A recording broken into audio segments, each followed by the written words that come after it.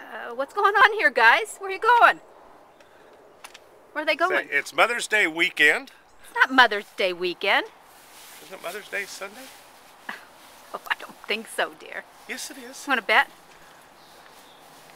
It's not Mother's Day. Oh. Anyway, Well, we have the trailer.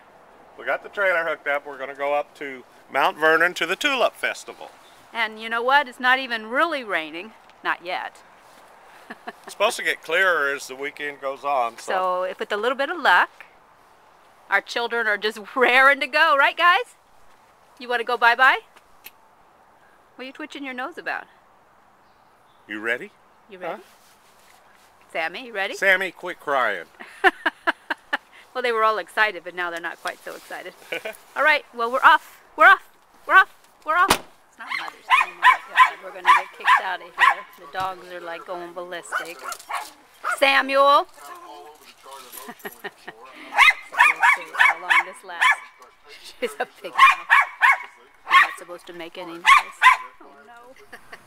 Guess what?